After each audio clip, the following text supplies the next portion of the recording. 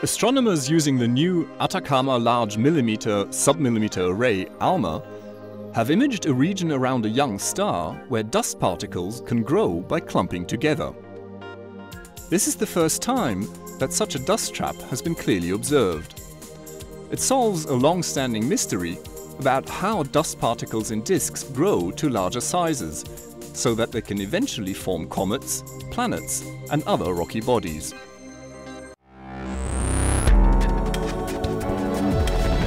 This is the ESOcast. Cutting edge science and life behind the scenes at ESO, the European Southern Observatory.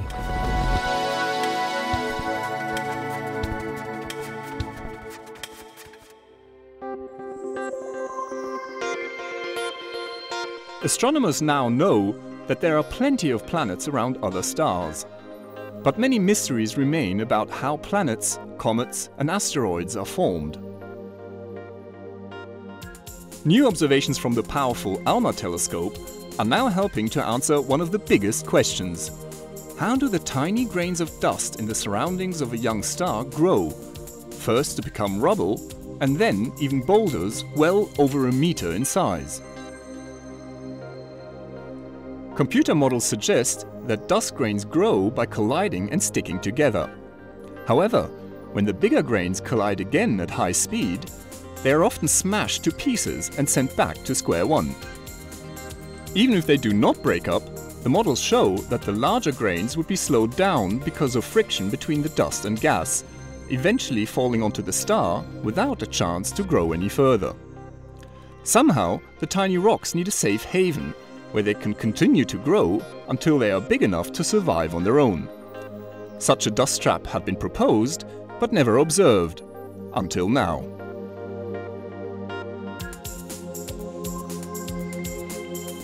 Astronomers used ALMA to study a protoplanetary disk in a system called Ophiuchus Infrared Source 48.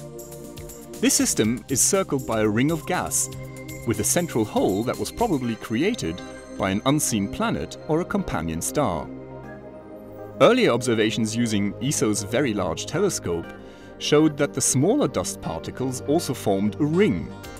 But the new ALMA view revealed that the larger dust particles were doing something quite different. Instead of the expected ring structure, a very clear cashew nut-shaped feature was revealed.